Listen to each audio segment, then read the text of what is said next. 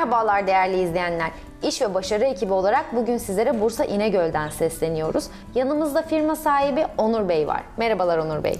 Merhabalar, hoş geldiniz. Hoş bulduk. Nasılsınız? Teşekkürler. Siz nasılsınız? Çok teşekkür ederiz. Bizler deyiz. Firmamızdan, hizmetlerimizden bahsedeceğiz. Ama öncelikli olarak kısaca sizleri tanımak istiyoruz. Onur Bey kimdir? Tabii, e, ismim Onur, soy ismim Çelik'ten.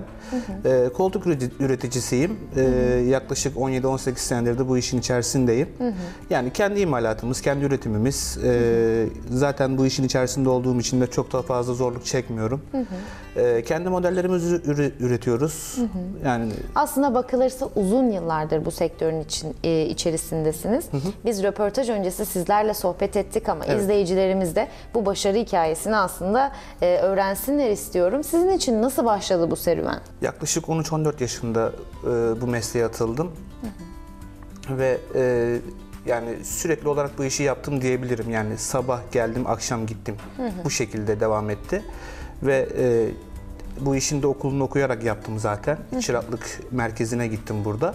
Onun da belgesini alarak e, bu mesleğe atılmış bulundum tamamıyla. Ve e, şimdi de kendi iş yerimi kuru- kurucusu oldum diyebilirim. Çok güzel. Aslında bakılırsa e, hem eğitim almışsınız bu alanda hem de e, çok uzun yıllar hizmet verdiğiniz için artık e, bu alanda alanında uzman diyebiliriz sizler için. Evet. Peki kumsal sofa olarak hikayeniz nasıl başladı? Ne kadardır hizmet veriyoruz bu alanda? İki yıldır bu işin yani kendi firmamızı üretiyoruz. Bu şekilde.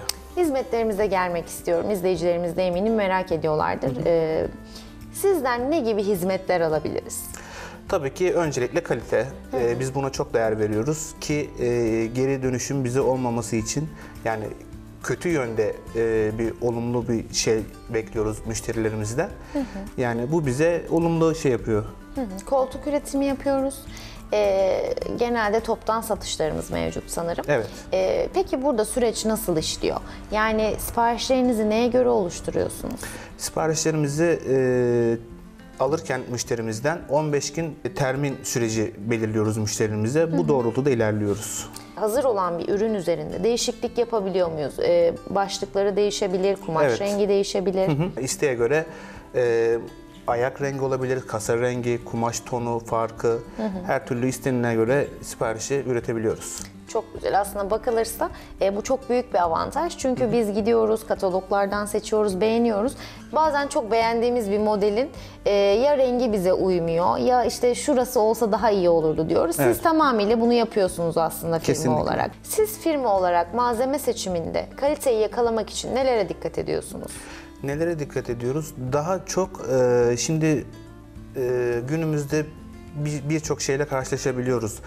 Daha uygun fiyata vermek için insanlar sıraya girmiş durumda gerçekten. Biz bunu göz ardı edip daha iyi, daha kaliteli, daha sağlam malzemeler yani e, daha önceki çalıştığımız yerlerden sürekli ürün almaya ve kontrollü alıp devam ediyoruz. Bu şekilde gerçekleştiriyoruz ürün alımlarımızı. Ee, zaten o yüzden bir sıkıntı çekmiyoruz ve şimdiye kadar hiçbir şikayet almadık.